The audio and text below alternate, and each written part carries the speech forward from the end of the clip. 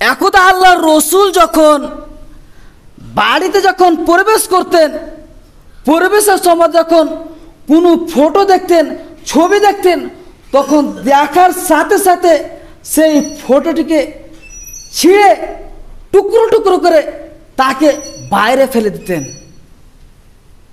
তাকে বাইরে ফেলে দিতেন, বাড়িতে রাখতেন না। কেন?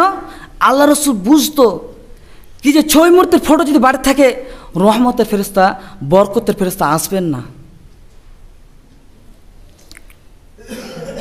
এই আয়সা রাদিল আহনবতে আট বর্ণিত করেছেন। কি আয়সা রাদি তুমি তিনি বলেন, কলাত কাদিমান নবী সাল্লাহ আলি সাল্লাম সাফারেন। একদ আল্লাহ রসুল সাল্লাহ আলি সাল্লাম কোনো সফর থেকে আসলেন।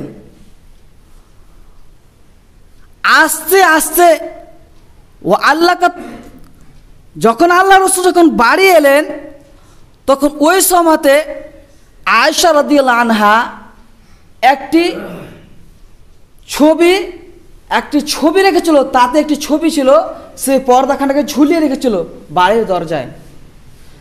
বাড়ির দরজায় ঝুলিয়ে রেখেছিল, তাকে যখন ঝুলিয়ে রেখেছিল, তখন আল্লাহ রসুল সাল্লাহ আলি সাল্লাম আয়সা রদানহাকে বললেন, কি তুমি এই ছবিটিকে হটিয়ে দাও, আমার সামনে থেকে দূর করে দাও।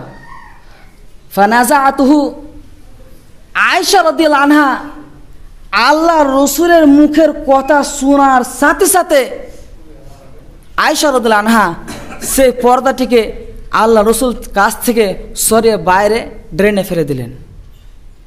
তাহলে দেখেন আল্লাহ রসুল যেমনই আয়সা রদিয়ালকে বললেন, সাথে সাথে কোনো সেকেন্ড বা সেকেন্ড হতে দেয়নি, যেমনই আল্লাহ রসুলের মুখ থেকে বেরিয়েছে, তার সাথে সাথে সেই পর্দাটিকে, সেই ছবি ছিল ফটো ছিল, তার কারণে সেটিকে বাইরে ফেলে দিল।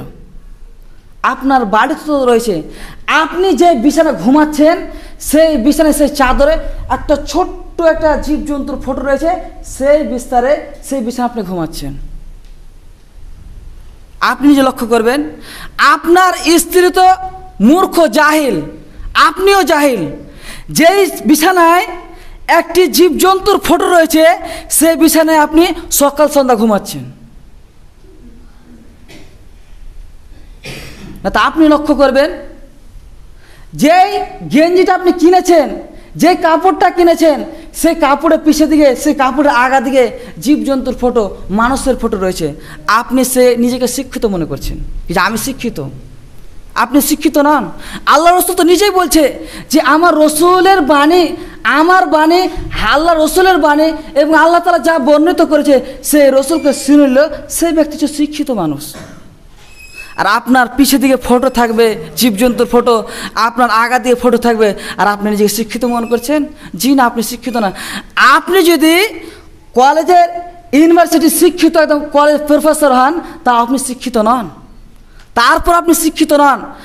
আপনি নিজেকে মনে করেন যে আমি প্রফেসর আমি ইঞ্জিনিয়ার এত বড় ইঞ্জিনিয়ার এত বড় লম্বা দুই কিলোমিটার তিন কিলোমিটার আমি এত বড় ব্যারেজ বানিয়ে নিচ্ছি, এত বড় পাহাড়কে কীভাবে তহাসনাস করতে হবে, কীভাবে টুকরো করতে হবে, আমি এইগুলো বানিয়ে আমি ইঞ্জিনিয়ার আমাকে মূর্খ মনে করছ?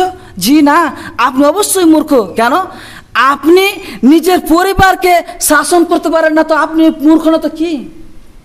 আপনার নিজের পরিবার তো, নিজের ছেলে তো, নিজের মেয়ে তো, নিজের মেয়েকে একটা ড্রেস কিনে দিয়েছেন, নিজের মেয়েকে একটা ড্রেস কিনে দিয়েছেন, তো ড্রেসটাতে কি রয়েছে? সামনে, পিছনে ছোট ছোট পুতুল রয়েছে। আপনি নাকি শিক্ষিত? আপনি নাকি গার্জেন আপনি নাকি পিতা? আপনি কীভাবে কিনে দিতে পারলেন আপনার মেয়েকে?